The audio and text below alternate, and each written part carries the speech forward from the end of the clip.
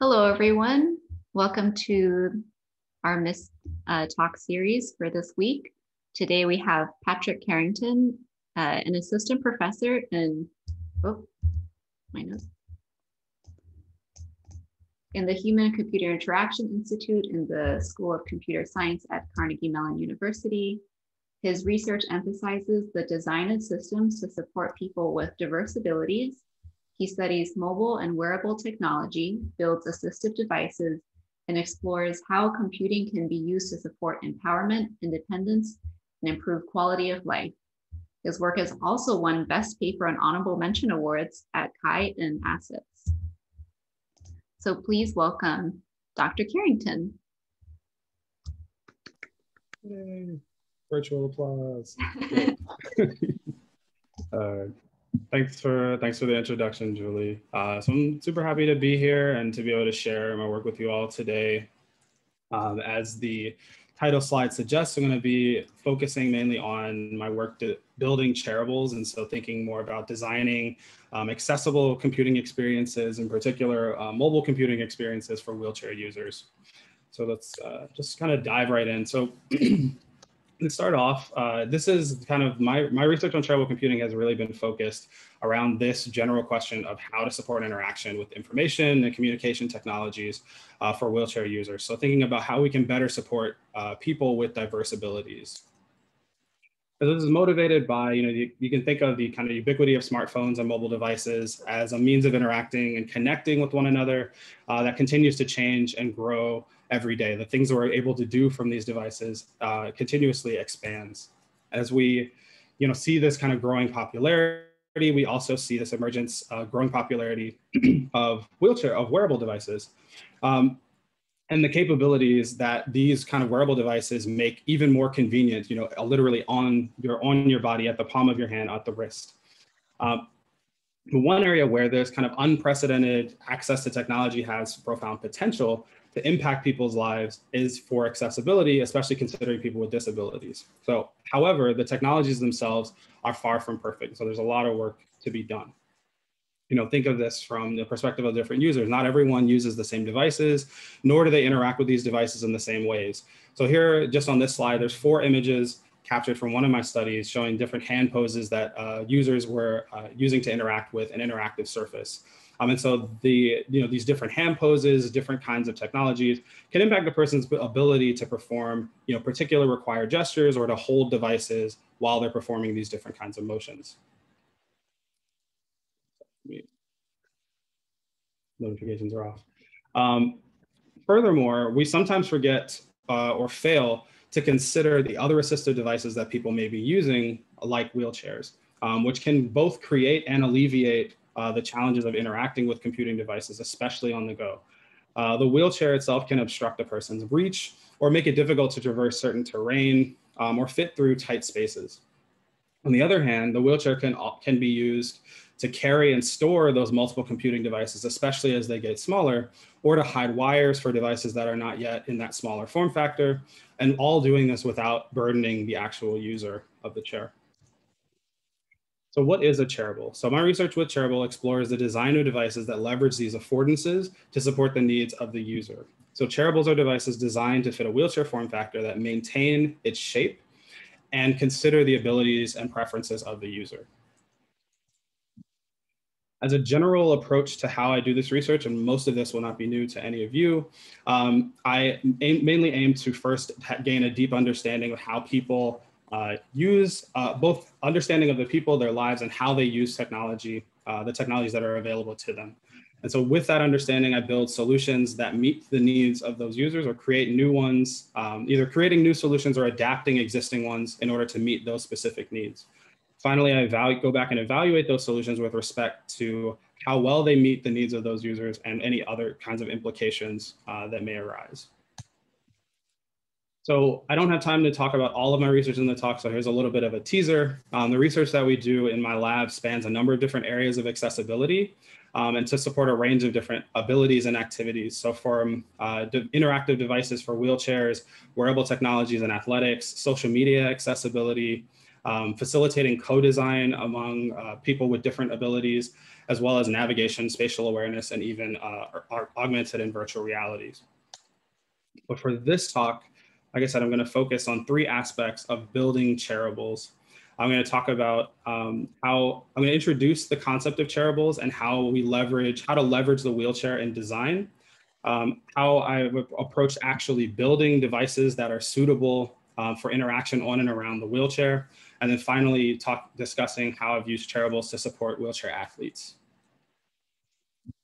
So the first section of this uh, talk, I'm going to talk discuss about leveraging the wheelchair and, and describe this participatory ideation and design process that led to uh, really the concept and initial tenets of chairables. And so this arose from the problem space of, uh, you know, let's go back to kind of the initial uh, setup of motor impairments, and these can affect uh, multiple parts of the body. So we often think of wheelchairs as affecting the lower part of the body and making it difficult to walk but other upper body mobility impairments can also adversely impact the use of mobile computing devices. Um, and finally, you know, as we think about, again, how the wheelchair might also exacerbate these existing challenges. So the question that kind of drives this, you know, how can we design devices and interfaces that better support people with diverse abilities? Again, so just a reframing of that first question. Um, in this, uh, in order to get to this point with chairables, what we started with doing was, you know, we started by understanding or aiming to understand individual challenges or individual technology challenges from discussions and design sessions with individual wheelchair users. We then took the results from those individual interactions uh, into uh, focus groups with a broader range of users, with a broader range of stakeholders, namely uh, physical and occupational therapists, along with wheelchair users, to gain a broader perspective on how these solutions might meet the needs or potential solutions for multiple users rather than focusing on a specific individual. And then from that, we went back to individual uh, individual interviews with uh, power wheelchair users to discuss in the individual configurations and their preferences um, regarding the different uh, outcomes of those focus groups. And so to kind of start this off, to give you an idea of what we what we saw during kind of the individual portion, um, I'm going to tell you a story about Kyle. Um, we'll call uh, Kyle is a pseudonym for one of our participants. And so Kyle uh, has paralysis below the neck resulting from a spinal cord injury that he had when he was about 12 or 13. Um, as a result of this, he you know, does not have full paralysis below the neck. He is still able to move his head and his left shoulder um, and uses a head array to control his wheelchair. So there are uh, an array of switches that are mounted around the headrest of his wheelchair. So he can tilt his head to one side and hit a button or hit, tilt uh, back to hit a button. Um, another really interesting thing about Kyle is that he was fortunate enough to have his home completely renovated to become a state-of-the-art smart home uh, delivered by um, the Extreme Makeover Home Edition. So he has a state-of-the-art smart home which allows him to control everything in his house from a tablet. So when we talked to Kyle, um, we weren't really expecting to see um, too many of these challenges given this kind of state-of-the-art renovation. So some of the things that Kyle mentioned during uh, the interview, during our design interview and design session, were that the challenges he faces are with the positioning of the tablet and being able to control um, precisely what he's doing there. And so you can see from the image on the right side of the slide, you may be able to see from the image on the right side of the slide, this is Kyle. Uh, in order to use his smartphone, he actually has a tray that's mounted across his lap uh, the phone is then propped up and he uses a mouth stick with a stylus attached in order to hit the buttons or interact with that touchscreen. Um, he does this similarly with the tablet, except the tablet is actually mounted to the side of his chair um, using a pole arm. So your you know, kind of standard uh, metallic pole, it sits about three inches out to the right side of the chair, uh, comes up and then places the tablet in front of him for him to use uh, with the same means. Um, one of the major things that uh, we saw from Kyle's experience was that even despite his complete home makeover, um, when they designed his home, they considered the dimensions of his wheelchair, but they didn't consider the dimensions of the tablet that they were adding to the chair after the fact in order for him to control all of these wonderful features. So the doors ways were widened, but not quite enough for him to actually fit through them with the tablet attached. So he can open the doors in his house. He can turn on all kinds of devices, adjust environmental controls, um, but he actually can't fit through the door. So he can do all this from his bedroom, uh, but has to have someone come in and actually take the tablet off and reattach it when he leaves the bedroom. So he actually ended up not using the tablet very often and has an aide who really does a lot of the control uh, for that uh, device. So some of the solutions that Kyle wanted to use were things that would allow him to independently engage uh, some of those functions of the tablet using uh, switch-based controls. And so in particular, he was interested in using a control on his elbow. Since he's already using his head to control and move around his wheelchair, he wanted to be able to use that residual motion in his shoulder to be able to press a button, even if it's just one button around his elbow. And also, of course, if it were possible, then to re, uh, reimagine kind of the display mounting for him so that he would be able to actually fit through uh, the doorways. And so what, uh, what this story kind of demonstrates, and I'll go back to these um, kind of high level points, or this idea of always available interfaces. So he doesn't have to have someone come and set it up or tear it down. He can do all of it, access those functions whenever he needs to do that, whenever he would like to. Also that it's tailored to his specific situation, which is not necessarily a new concept for accessibility, but is one that's really important for these types of devices. Mean, as well, the final point of kind of maintaining the silhouette or the shape of the user and their wheelchair together. So as I mentioned, the next step in the process, we uh, took the results of these interviews. We did about nine of them um, and took these into focus groups with clinicians where we had uh, clinicians actually work together in teams across four, day, four days um, to get a broader perspective on potential solutions. Um, we had, during each of these focus groups, participants use personas or interacted with uh, wheelchair users who were present during the focus groups to uh, guide their designs. Uh, and so we conducted four of these sessions, each one focusing on a different uh, type of interface each day. So the first two days focusing on very specific kinds of interfaces, a phone dialer and a game controller, and the second two focusing more generally on input and output techniques. As a result of the focus groups, we came out with a set of interactions, so a set of inputs that were desirable and a set of outputs that were desirable. And so the input side, uh, people talked about wearable devices, things that would act, uh, devices that would actually be integrated with the wheelchair itself, uh, gesture-based interfaces, thinking more of gestures in the air, um, in the air or on the during in the space around the wheelchair, and then removable interfaces, so things that are akin to the tablet style interactions that Kyle used. On the output side, people were interested in projected interfaces. So rather than having to have a physical display, they could just project onto any available surface. Um, actually using those add-on screens that they were familiar with. And people were really intrigued by the idea of having head-mounted displays for the kind of hands-free interaction capabilities after we kind of compiled those uh, results, we had this set of inputs and outputs. We then took those back into individual design sessions with Power Wheelchair users where we asked them to configure their ideal setup of these inputs and outputs on their wheelchairs. And so we gave them a diagram similar to the one shown here where we could place uh, we could place any kind of input or output in any of the reachable areas that they identified. So we had them identify any area that they could physically touch or where they could physically see uh, for a visual output, could, where could we place devices that they could actually interact with them? We had them describe the functions that they, these different inputs and outputs would provide and then rank their preferences. And so the result of that step, we end up with a slightly different uh, reordering of that initial list of inputs and outputs and find that at the top of that list, we have wheelchair integrated and wearable devices um, for their convenience factors and the, the uh, capability to not modify that, uh, that initial silhouette and shape followed by removable interfaces where you can add on this complex thing, but then be able to take it off when you don't need it. And gestures just kind of fell really far behind, both for kind of privacy reasons. Um, you know, people didn't really want to be making these grandiose gestures in the midair out in the world, um, as well as just the complications of maybe having to adhere to whatever specific gestures there were required. Um, on the output side, head-mounted displays won kind of the rankings based on the novelty of the input and kind of the potential for hands-free. Um, but add-on screens were definitely highly preferred and were a you know consistent second choice. Projected interfaces were just not um, not very popular once we actually asked people to configure it, you know, for reasons like privacy. So if I don't have my own screen, then everyone else, when I project onto a wall, can see everything that I'm doing um, to uh, the person who decided, the person who described their uh, club trips where they wouldn't want to have to, uh, you know, pull on this projector in the middle of a club scene to send a text message for someone to come pick them up. So some really interesting stories that kind of led to these results. Um, one of the big takeaways, like I said, was this the concept and kind of framing around chairable technologies or chairable computing. Um, and so this is kind of the fir- the five principles that I use to drive uh, chairable design. And the first one being availability. So devices should be always on or always available. So whether you're you know constantly using power, it should be available whenever that user um, needs to use that, whenever they desire to use that technology. Maintaining the silhouette of the wheelchair uh, of the user and the wheelchair together. Um, I mentioned this one before. Tailoring or adaptation, which is a very familiar concept, especially uh, for those in the accessibility domain. Um, familiarity to known devices or systems uh, really needs to be considered when we're designing. So for both the kind of learning effects of familiar interactions, as well as the common misperceptions or challenges that arise from the use of existing technologies.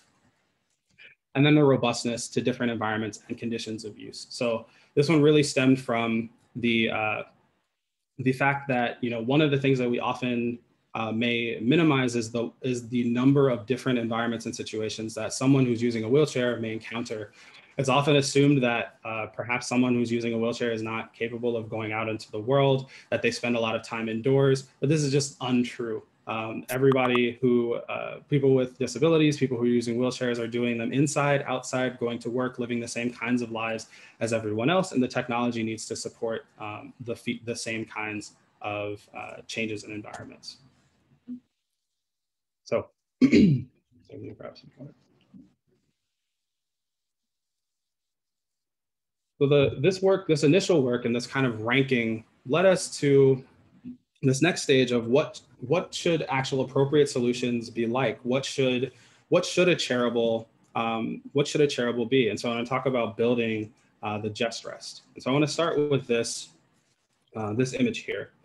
So when we came out of these studies and started thinking about what a chairable might look like, those wheelchair-based integrated controls, um, how can we incorporate um, these innovative input options into the wheelchair itself? And so some of you who may be uh, Star Trek fans have, or have maybe uh, encountered the bridge on the Starship Enterprise, um, which is shown here, a very older, an older version of the captain's chair. Um, but what you may not have realized um, is that this chair is what actually gives you the power of control over the ship. Whoever sits in this chair is the captain. They can interact with whatever uh, voice interface, touch screen, hand controls. They're the one who ultimately are in control of everything on the Starship Enterprise, which we know through 20 plus seasons of activities is a very, very large range of activities that you might, uh, might be engaged in. And so the idea here was to actually provide all this functionality at the fingertips of the user. And so we got, uh, you know, into this idea, but then kind of bringing it back to the kind of hard science of it, the people who will be using this device um, may show a lot of variation in the way that they move, as well as the hand positions that they use to interact with this interactive surface. Um, so in these four images, again, from the earlier slide, I show these four pictures of different hand poses that we encountered in the study. So the first one at the top left was someone who's interacting with our surface um, using a very open and kind of loose palm. So they're not able to, you know, put apply really hard direct pressure, but they can kind of, uh, their fingers are just uh, normally spread out. And so they can pro uh, provide light pressure across the surface. The person on the top right has a more of a loosely clenched fist and they interact with kind of the knuckle parts of their uh, pinky finger and ring finger. The person on the bottom right, the bottom right um, has a much more tightly clenched fist and they actually interacted with the surface using the bottom almost of their palm of their fist. And then the person on the uh, bottom left um, actually inter interacted using um, their hand, which they actually suffered a large contraction, which was not properly rehabilitated. And so their, actually, their arm actually is uh, contracted over top and they actually press down with the top of their finger um, over top of the surface instead of you know, a uh, you know, palm side interaction.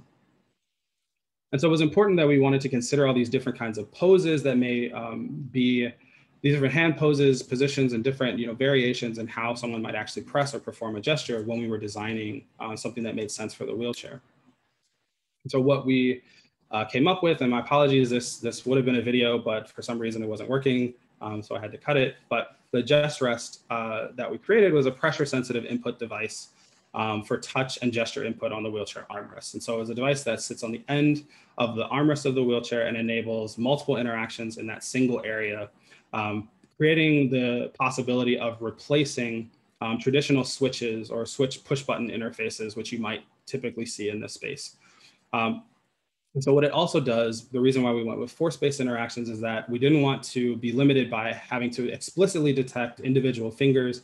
And instead the GestRest relies on pressure, which allows the uh, person to perform gestures with multiple parts of the hand or the arm, while other parts of their hands may still be resting on the surface. To give you a closer look at uh, what's under the hood, uh, we have an array of force sensitive uh, resistors, force sensors, um, which we then used to ca calculate the center of force and in an XY coordinate that was connected to an Arduino microcontroller and then eventually connected to a computer.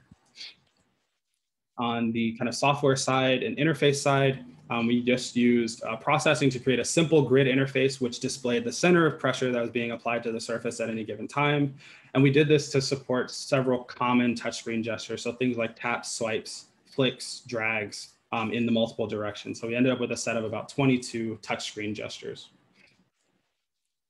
Uh, in addition to those touchscreen gestures, though, we wanted to make sure that we were fully taking advantage of the fact that this was an armrest-based interface and not a smartphone.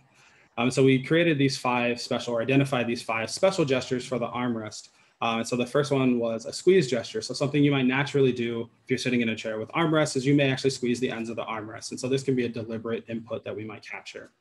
Um, the lift gesture. So if you are reading, the word is armrest, not arm raised, and typically you will rest your arm on that surface. So the deliberate act of lifting off of that surface can be captured as an input. The punch gesture, which was by far the favorite, um, the ability to detect a sharp force that was applied to the surface or applied to the uh, interaction surface, um, the roll gesture, which involved rolling your hand from one side of the surface to the other, and the rock gesture, which involved rolling uh, your rocking your hand back and forth in both directions. Uh, so while our, our initial solution was very well received, uh, we also didn't want to limit ourselves to um, kind of the confounding result of well, maybe it's just because we put it on the edge of the wheelchair that this is a, a very useful device. So we wanted to compare the force sensitive, pressure sensitive version to other common types of interfaces you might find on a chair from a single push button switch to a multiple uh, button uh, interaction area. And then we also wanted to compare it to the kind of ideal situation of having all of the controls of your touchscreen smartphone just mounted to the wheelchair so you can interact with it without having to hold it. So we compared these, um, these different input interaction types, again, using an evaluation with both individual wheelchair users and therapists. Um, the individual users to get that kind of individual perspective for their individual needs from you know a young wheelchair user up to a, a much older adult um, and then the therapist to gain that kind of broader perspective from multiple users um, so we had them actually uh, use rate and describe how each device would be could be used um, and then rank their preferences uh, out of the four. And so while the results across all four devices really spoke to the form factor really making an impact uh, compared to having the push button switches around in a different place or even having to hold the smartphone, um, all of them being put in the armchair armrest form factor made it easier for them to use um, based on self-report. Uh, but the force sensitive version or the pressure sensitive version was overall preferred by wheelchair users and clinicians in the rankings and in our discussion. And this was mainly due to the flexibility that it offered um, with respect to hand position, as well as the types of surfaces that people could interact with or through. So one of the things that um, the therapist kind of instinctively did um, to test whether this was an efficacy was an um, uh, test the efficacy of the efficacy of the solution. Sorry, um, was they had these uh, foam buildups that they use often for supporting wheelchair users' hands while they're resting their arms on, on the chairs. And so one of their major concerns with the uh, surface was that now that interaction surface would be below that foam. And so by adding the foam on top, they wouldn't be able to interact or access the device anymore. And this was true of the touchscreen interaction. But because the force sensitive one still allowed the kind of pressure to pass through the foam to perform same kinds of touchscreen gestures that they were uh, familiar with, as well as all of the force sensitive gestures um, that we introduced using this input surface. Um, so the kind of similarity to the touchscreen, they could carry over the things that, are, that they already know about gestures and be able to tailor that to their individual needs. so at this point, um, you know, kind of what's next in the space of interaction. I just wanted to briefly mention um, some of the projects that I'm working on now that kind of build on this initial um, integrated idea of integrated controls and breaking out the different types of inputs. And so one of the big promising areas that I'm uh, looking at for this is uh, in AR and VR access, specifically with respect to physical impairments, wheelchairs, and the hand controllers that um, we're seeing with a lot of modern VR tech. Um, one of the big promises of VR right now, I think, is that the is the ability to be very expressive with your hands and be able to capture these really fine grained hand motions that we weren't re- isn't really possible or wasn't really thought to be possible using traditional push button interfaces, which are incredibly limited. Um, but then we kind of run into the opposite problem where the technology is starting to evolve and it's starting to conform more to hands or even hand tracking and so what is that like for someone with a motor impairment that affects their fine motor skills and their ability to create all these different hand poses in order to interact? Um, so our aim with these kinds of projects is to break down and separate those interactions and provide, you know, different kind of configurations for um, wheelchair-based inputs and outputs uh, to facilitate interactions in VR. I'm gonna take a, a breath here um, and pause before I transition into more chairables for athletes. Um, if there's any like really burning questions, I can take a question or two now. Um, otherwise, I'll dive right into chairables for athletes.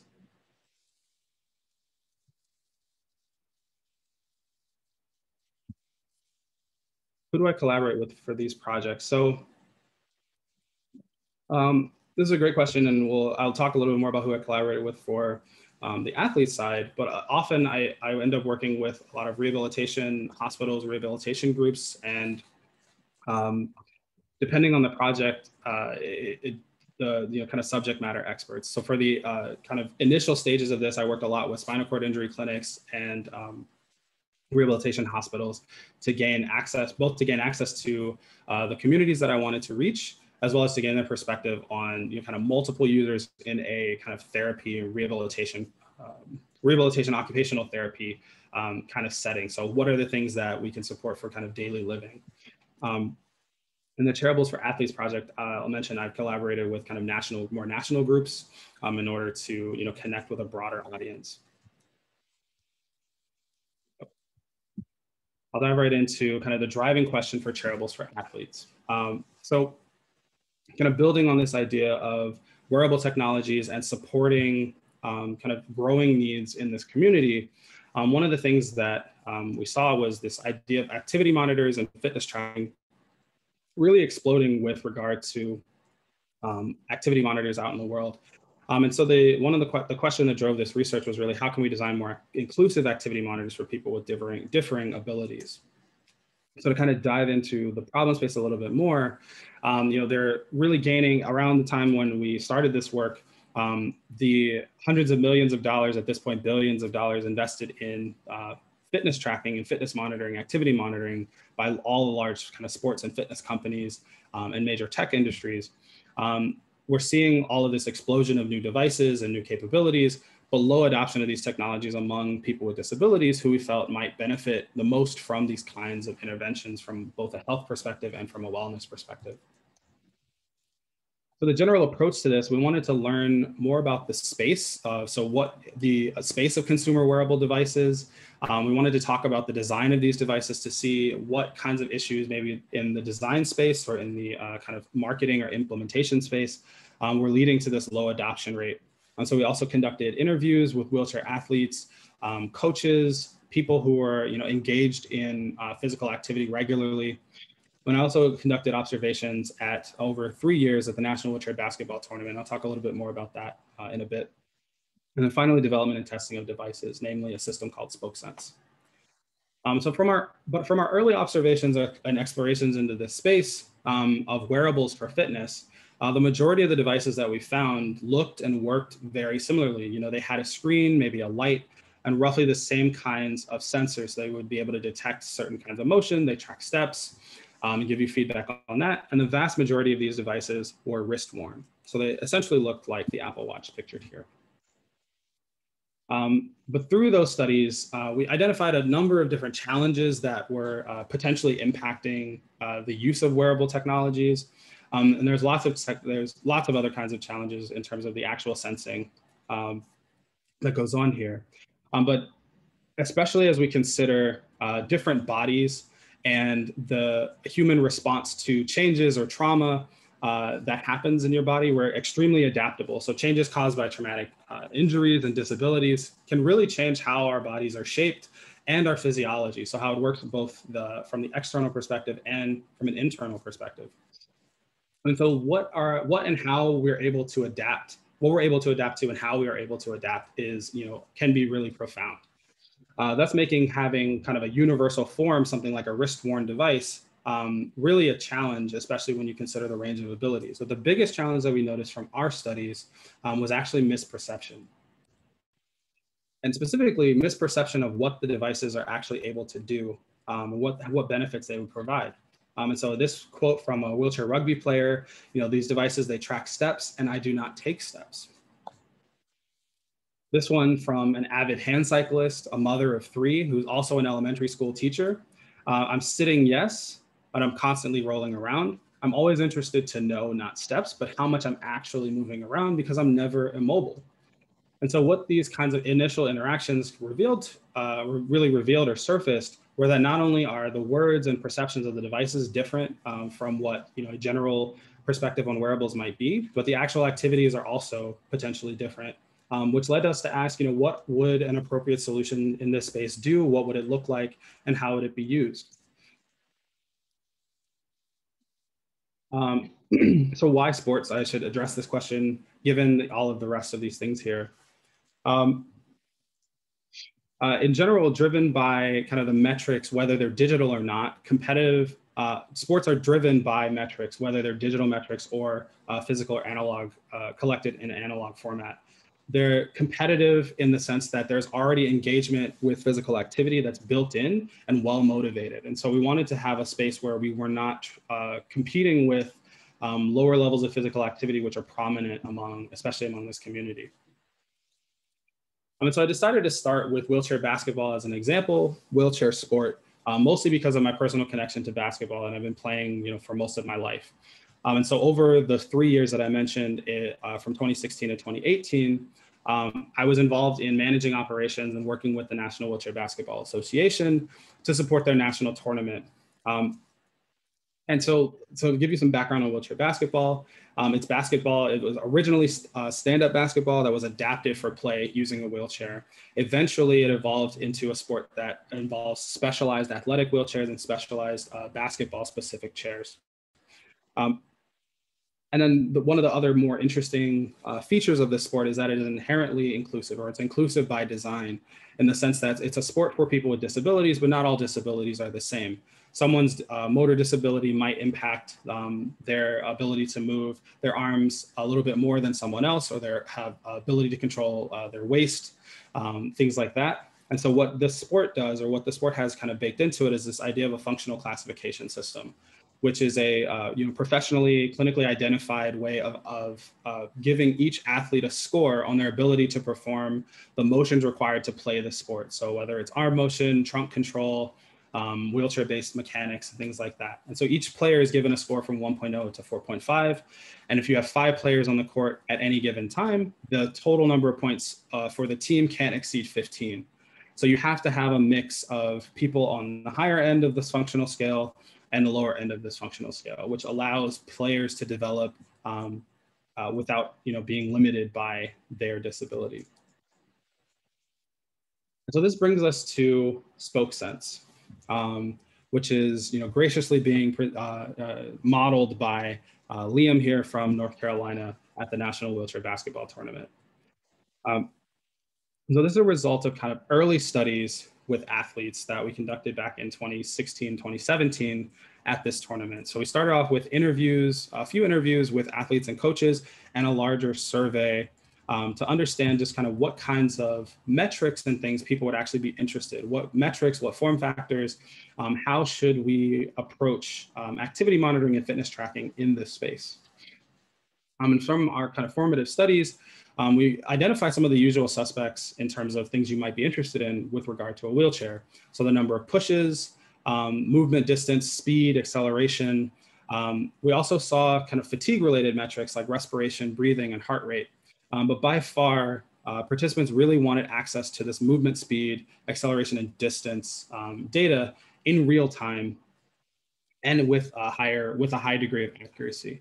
So one of the complaints they had with existing devices is that they just couldn't trust them because they were designed to track steps, and then they're using them in this field where um, they're not actually taking steps; they're doing a lot more uh, just kinds of motion-based activities.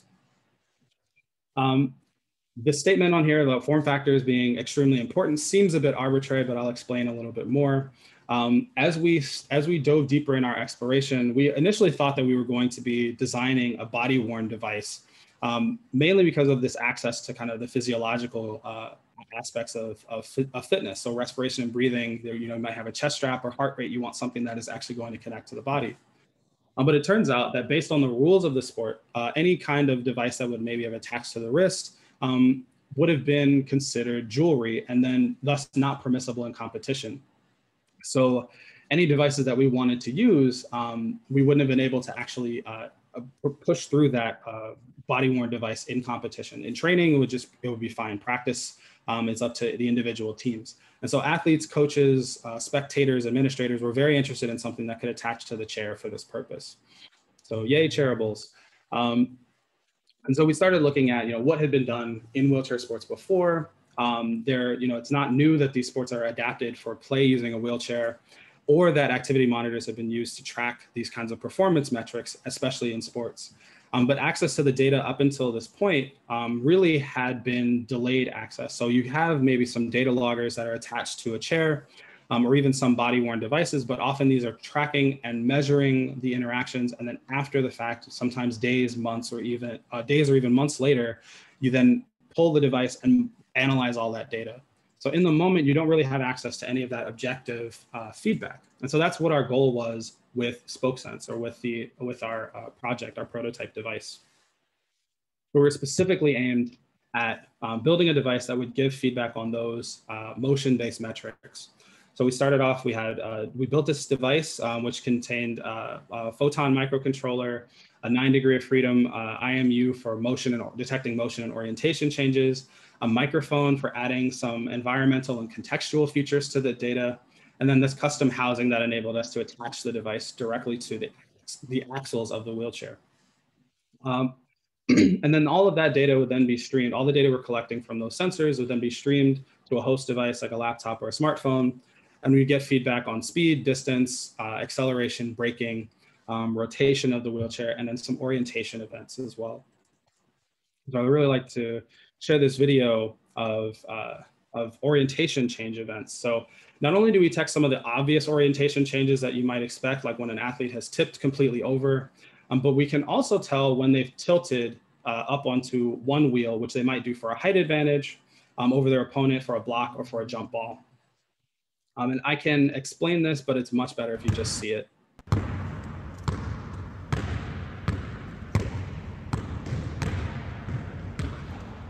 So in this video, he shows kind of the extreme developed skill of tilting, where he's balancing up on this one wheel and is able to, you know, not only take the wheel off, but then at the end of it, actually maneuver himself to put the wheel back on.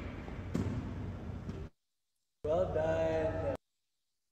Now, this is a not, this is, you know, he's a much more advanced wheelchair basketball player, arguably one of the best uh, wheelchair basketball players in the world.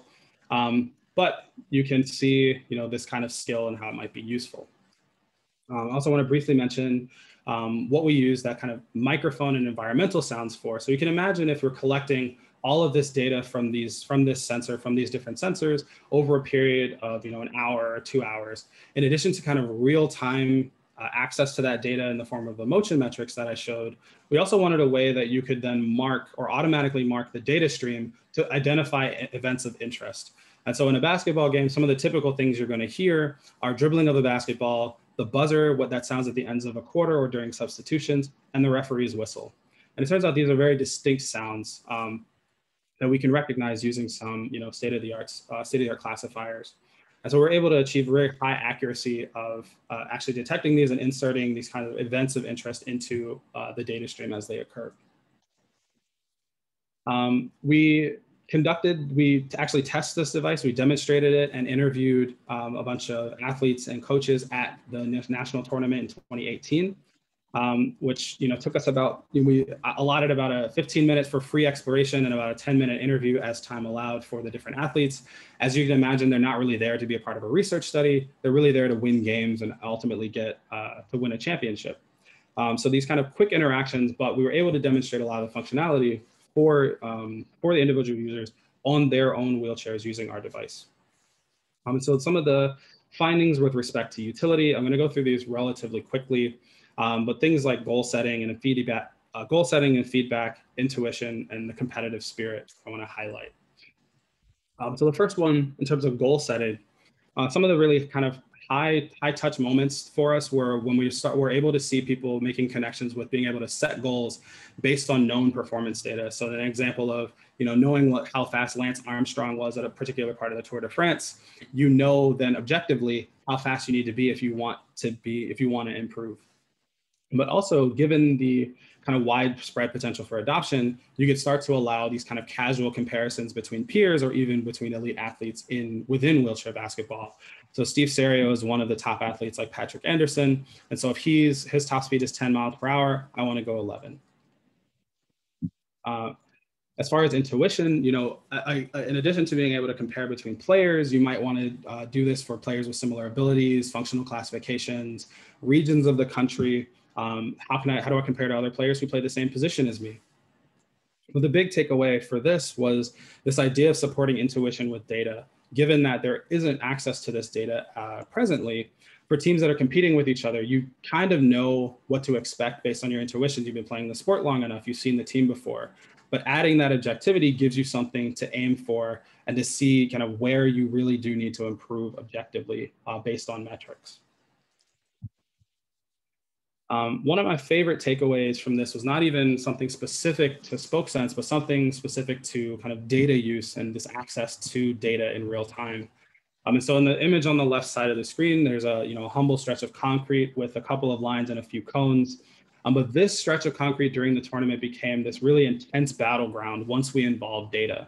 So by putting the cones down initially before we set up our large display to show what the sensors were, uh, were actually detecting, um, people started to pass through the lane, they would, you know, ride through the lane. They start doing in and out drills where they ride in between the different cones. But as soon as we turned on the data display and showed them, there's this person's top speed, here's the number, the speed or the distance, the time it took them to go from line one to line three, um, it became it became something to be the best in the building. And this gentleman on the right side of my slide uh, came back to our booth about seven times to make sure that he was still number one. He came back in different chairs before and after games. He came back when he saw when he saw someone who he thought might have been able to get close to his record. Um, he came back to beat that record. And so it allowed this kind of asynchronous competition among uh, a field of athletes where at this tournament, there's about a thousand athletes playing 88 games in a weekend. And so just the idea of adding this data and making it something of another activity, another way to compete um, was a, a, a very uh, kind of touching finding for us.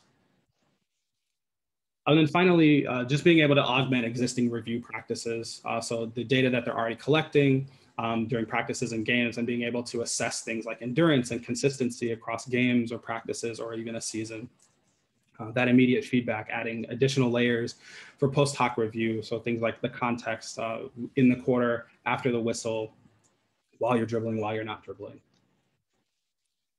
And so there's, we see some uh, potential, some broader potential for SpokeSense um, in terms of both, uh, in terms of feeding team management. So I mentioned the functional classification system. If you can start to pull metrics on individual players and understand how your individual players perform, even in different game situations. You can start to understand which players you should substitute in at what times. If you need faster players, you can objectively choose which players are your fastest on paper and which ones perform better in games versus in practice.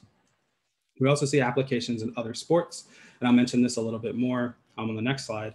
Um, analysis for everyday activities. So this uh, SpokeSense was initially designed specifically for basketball. So we're really interested in uh, the things that basketball players are really interested in.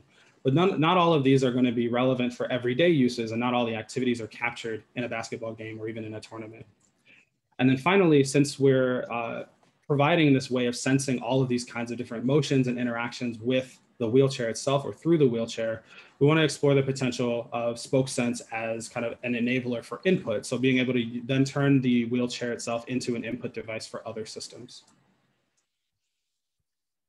Um, as kind of a broader 5,000 foot view of the work in kind of competitive sports and adaptive sports, um, there, I'm really interested in this idea of sensing and feedback systems um, for other adaptive sports, in addition to uh, wheelchair basketball and other wheelchair sports specifically, um, there you know health, wellness, and fitness applications. Can we use um, can we apply the same kinds of sensing? Can we go into these other sports and understand their technology use and the roles of technology in both facilitating and enabling the sport, as well as transforming the sport into the data-driven uh, machine that we see professional sports as now. I'm pretty sure baseball players still actually play baseball, but it's all about the numbers. It's all about you know runs batted, it's RBIs, it's home runs, it's percentages. Um, that's what more people are talking about than whether these players are actually talented anymore. Um, and so that's what we're kind of seeing. And so we want to enable this um, in adaptive sports as well. And so with that, I want to take you know a moment to you know acknowledge and thank my uh, collaborators and funders who make this work possible. And then thank you all for listening, and I'm happy to take questions. Yay, virtual applause and actual applause. So if anyone has any questions, please post it in the chat or you're welcome to unmute yourself and ask. Um, there were some questions while you were speaking. Uh, so someone asked, I'd love to learn more about participating both as an end user and how I might be able to become involved on the research side of things. And they're currently a research associate within U of M. Awesome. So right now, right now with the pandemic, a lot of my traditional in-person types of uh, studies and things are on hold. Um, but we are still doing a lot of the kind of interview engagement and uh, anything that we can do remotely, honestly. Um, we're, you know, considering we're figuring out ways to be able to ship sensors to people, educate people on how to attach them, how to uh, monitor them. Um, so I think there's definitely opportunities like uh, the easiest way, email me, follow up, let's, let's chat. Uh, there was also some comments. Someone said SpokeSense also seems to have potential for informing public health perspectives related to health and wellness issues in environments. And yeah. someone else said it could also be used in testing environments to maximize utility uh, for simple user experience. So very exciting. Yeah, and we have a question. Yep. Thank you everyone for commenting. Uh, we have a question from Robin and she says, this question relates to the chairable and the wearable basketball sensors work. How do wheelchair users and or how can researchers balance the usefulness always on devices, privacy concerns, and perceptions of surveillance? So that is a great question. Um, as far as how our sensors work, um, the main the main distinction and one of the reasons why we also started with sports and why basketball in particular was a uh, or wheelchair sports in general why this is a really good domain for this um, is that some of the surveillance concerns some of the kind of always on perception of this um, we're not doing this in an everyday context. We're not tracking you when you're not playing the sport. Because these sports are often using specialized equipment, you then have to move from your everyday all, all, my activities chair into this specialized athletic chair. And so this is the idea that the SpokeSense as it as it has been presented um, would attach to would attach to that specific athletic chair. So whenever you're doing a basketball related activity, we're monitoring that and giving you feedback, but we're not doing it when you're you know out in the world by you know a physical barrier. Um, beyond that, as we start to think about how this translates um, kind of outward, um, it really becomes an issue of you know how we're how we're handling the data. Specifically, we are not keeping. Um, we we are very cognizant of the fact that uh, the user needs to remain in control of how their data is shared, how it's used. And so we kind of take the idea that your host device is the one that that data gets sent to and processed on. And unless you explicitly share it with someone else, it remains your data and remains yours. The devices are streaming over Wi-Fi, but they're connected to another physical device. Um, right now, we're in the process of making sure that this um, that we can actually do that processing, moving it even from a host device and actually being able to do a lot of the processing on device. so that we can just you know kind of deliver high level metrics and high level uh, data from that. Uh, so essentially the identity of the user and the data we're collecting would be separate unless explicitly um, connected. Um, yeah. So as other people uh, think of questions, I had one, um, how engaged were users throughout the design process? Like, uh, and how engaged did they want to be? Like, did they want to be involved in all stages or uh, did they prefer to kind of be like at just at the beginning ideation stage? So we were uh, we were fortunate enough that I uh, we were able to connect with users and kind of the initial before we have a device. Where how should we even how should we even start with this? We think that data is useful. Do you think that data is useful? um, we had users involved in you know I, I, again identifying which metrics we should be looking at, how these things should attach. So I didn't have um, users directly involved in the actual prototyping of the, the last device.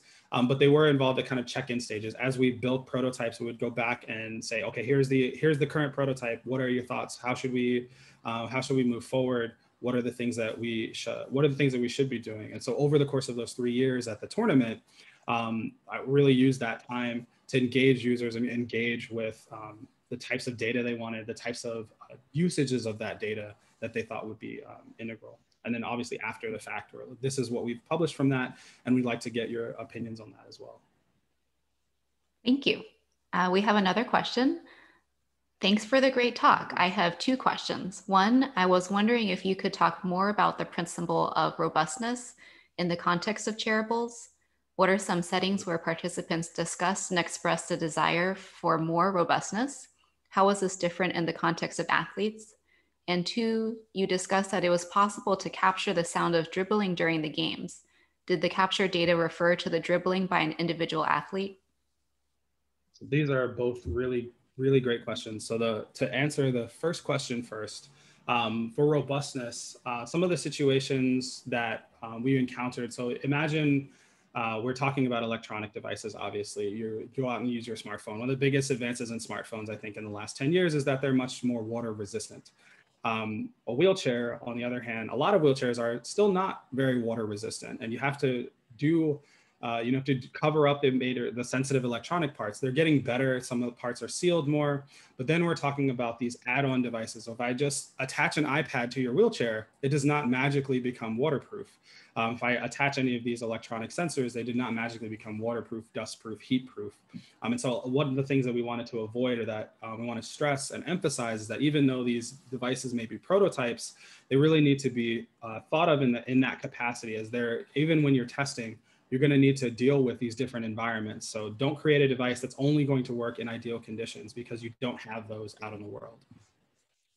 Um, in the context of athletes, the robustness really came up as a function of how much impact can these devices take. Um, basketball in general is not specifically a contact sport, but wheelchair basketball, I would argue, is definitely a contact sport. You're, the chairs are flying, falling over, people are crashing into each other. Um, it happens. The major thing that we saw from our studies um, were actually uh, the participants were more scared about breaking the devices than they were worried about like anything else, like using the data or using the thing. So for the first couple of tests that we had to do, we had to reassure, uh, we had to reassure people that it's okay. Even if you break the device, that's good data for us. We want to know what it can withstand, what it can't withstand, what materials should we, what should we move up to in terms of our prototyping? Do we need to encase this thing in steel in order for it to be viable for you to use? Um, and then to your second question about uh, dribbling, um, the capture data does refer to dribbling by, um, ideally by an individual athlete. So the idea that the sensors are, so we can detect the dribbling from a, certain distance away from the microphone. It's not a very powerful microphone by design. We want it to capture kind of the immediate area.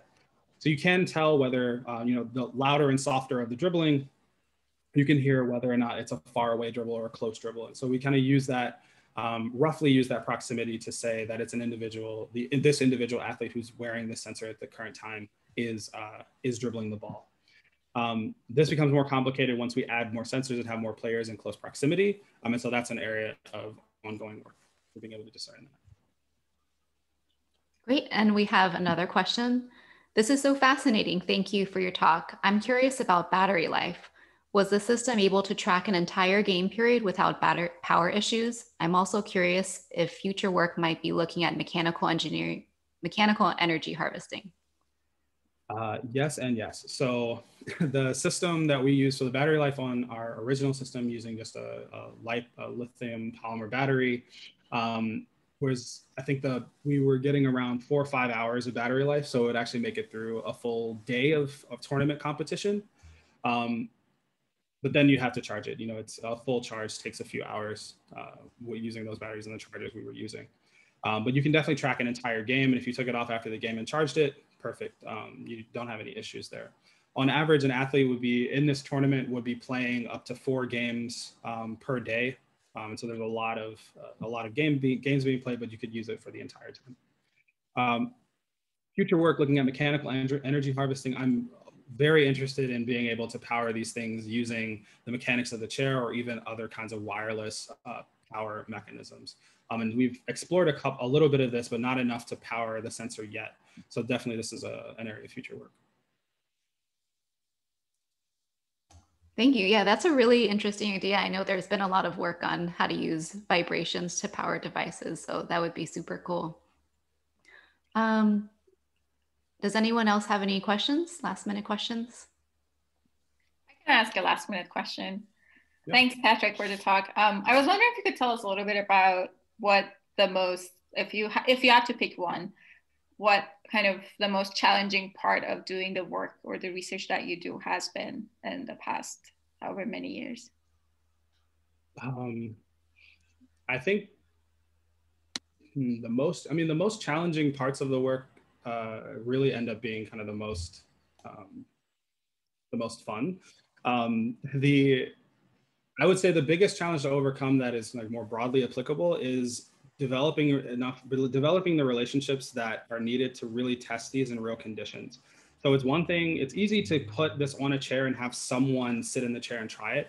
It's another thing to get a paralympic athlete to mm-hmm. try this out and give you real feedback. Mm-hmm. Um, and so i'm you know developing those connections with kind of the national orgs and talking with them and understanding kind of their needs in order to even get kind of a value proposition out of this was um, was probably the hardest uh, for uh, doing a lot of this work. And it's even more pronounced when, we talk about in like the rehabilitation context where we're adding a piece of technology that could have positive or negative outcomes. Um, and we don't want to, we really don't want to introduce a technology that's going to take away from the rehab goals. We want to do something that's going to benefit um, everyone involved. Thanks. Any other last minute questions? All right. Well, we're out of time anyways. Um, thank you so much, Patrick, for coming. This was a really exciting talk, and uh, I love to see all the work that you're doing for the community. So thank you all for coming. And there's, if you signed up for a meeting, you can refer back to the schedule, which is at the top of the chat. Uh, I can paste it again just in case anybody wants to sign up for one of the last two slots. But overall, thank you all for coming.